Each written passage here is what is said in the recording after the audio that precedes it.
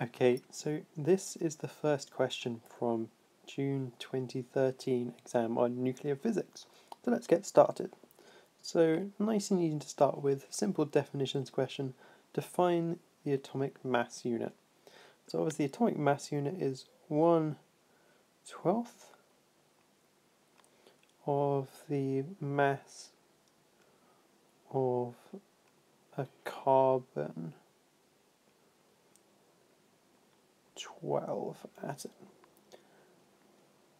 It's important to make sure you're saying that it's a carbon 12 atom because obviously carbon when we're using carbon dating is carbon 14 so specify clearly it's carbon 12 that you are using. Okay, so the next question says state and explain how the mass of a helium nucleus is different from the total mass of its protons and neutrons when separated. Okay.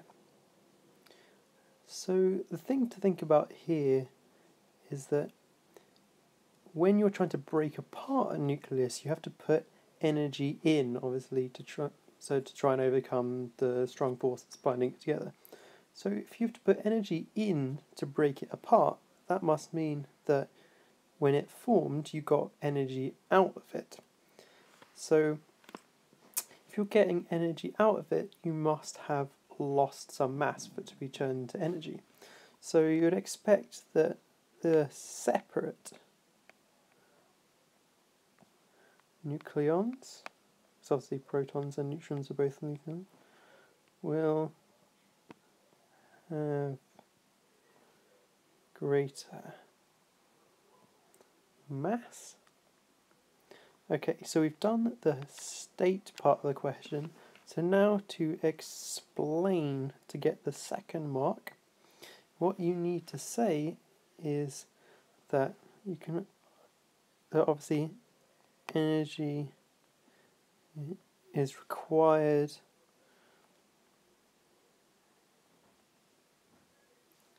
to separate the nucleons. Or you could also say conversely that you actually you release energy when the nucleus is formed. So then obviously that energy must have come from mass. So you must lose or transfer some of that mass into energy. So you get a larger mass when they were separated. Okay, so the next question says, explain why nuclei in a star have to be at high temperature for fusion to take place. Now the key thing to remember here is that fusion can take place once the, the strong nuclear force is able to act on it. Okay, so the key thing is fusion needs strong nuclear force. Okay, so that's a key thing. Needs strong nuclear force to.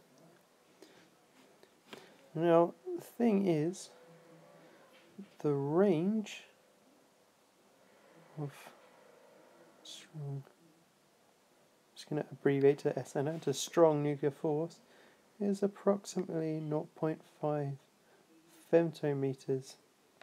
So that means that your nuclei need to be close together.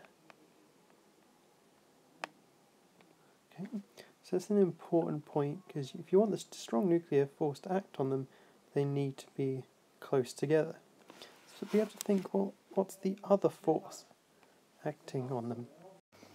So considering the force that's acting in the opposite direction, what we need to think is that if you're trying to fuse two nuclei together, nuclei contain protons, which means that nuclei are charged. So obviously we know that charged particles undergo the electromagnetic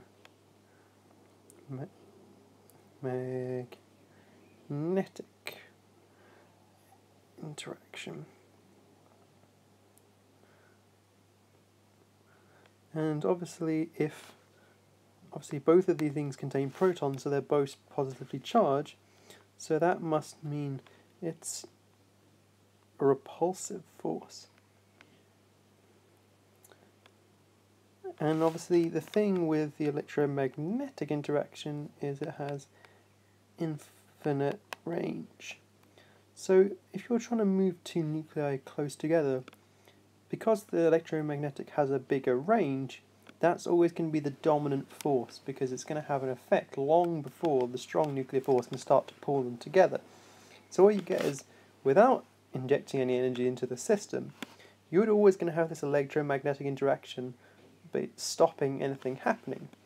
Which is why in the question it tells you that the star would have to be at a high temperature. Because what being at a high temperature does is that it actually allows you to change the energy of the, the particles, the new, or in this case the nuclei. So at high temperatures, the nuclei have high enough kinetic energy to overcome the basically the repulsion. So what actually this does is by having high kinetic energy, the particles are able to overcome the repulsive force. So then they can get close enough to together to, for the strong force to start to act and then bind them together in the in the nuclei, which is what you need for fusion to take place. But you only get this at high temperatures because that's what gives the particles the high enough kinetic energy. So in massive stars, nuclei of hydrogen are processed into nuclei of helium, so we're looking at some sort of fusion process there. And this happens through a series of interactions involving carbon, nitrogen, and oxygen called the CNO cycle. So we want to complete the nuclear equations below that represent the last two reactions in those series. So let's look at the first equation here. So we, what we don't currently know is the relative atomic mass of the oxygen and there's a particle missing on the far right hand side. So the first thing you should think is, well, you've got your oxygen, it's decaying into something. So you need to pick a radioactively unstable isotope of oxygen. So there's two that we know about oxygen 15 and oxygen 16. 16 is the stable form because that's what's in the air around us. So if it's going to decay, it must be the unstable form. So it must be this oxygen 15. So what you can see on the left hand side is you've got a relative the relative atomic mass of 15 and atomic number of 8. And on the right hand side currently what we have is the atomic relative atomic mass of 15 again, but the atomic number has gone down. You need to think, well, what kind of decay causes the atomic number to go down? Well, there'll be two types. You could have either alpha or beta plus. Both of those would do that. But because the change is only by one, that means you know it's not alpha, so it must be beta plus, which means you must produce a positron which makes sense because if you think about the fact it's producing an electron neutrino, those two have op- like opposite lepton numbers, so the lepton number cancels out on both sides, so then you'll still have lepton number being conserved. So that makes sense. So for the second part here, you've got nitrogen interacting with a hydrogen atom and obviously then producing an alpha particle on the right hand side. So obviously we need to balance the relative atomic masses. So we've got 15 plus 1 on the left, gives you a total of 16, and then 4 plus blank on this side. So if we want to get to 16, 16 minus 4 means you must be 12 there. So it would be carb carbon 12, so that's the usual isotope of carbon that you come across in different situations. So this question is looking actually at the, the reaction itself, so we've got a balanced equation here. So what we've got is four of the hydrogen atoms on the left, and on the right we've got our alpha particle, two electrons, and then two electron neutrinos. So what we wanted to do is calculate the energy in mega electron volts that is released. So obviously if we're going to work out the energy released, we need to first work out what the change in mass is. So, oh, so first of all, let's work this out. So to work out the change in mass, we need to work out the mass of the left-hand side and subtract from it the mass of the right-hand side, and that will give you the change in mass. So change in mass to the whole of the left-hand side, so we've got four particles, and obviously times by the value for, or in terms of u for your four nucleons there. And then obviously that's on the left hand side, so we're going to subtract from it the mass on the right hand side because we're trying to make the mass difference. So this part it tells you in the question is 4.0050u. And then we'll also have to subtract from it the electron. But we, we know from looking up on our formula sheet that the mass of an electron is 9.11 10 to the minus 31 but obviously we want that in terms of u, so to be able to do that, you need to divide it by the value to convert into u.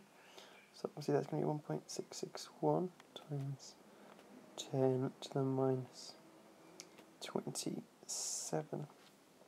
So this part here is all about the electrons, and obviously we knew that electron neutrinos we can consider having a value of 0 u because have a significant mass here.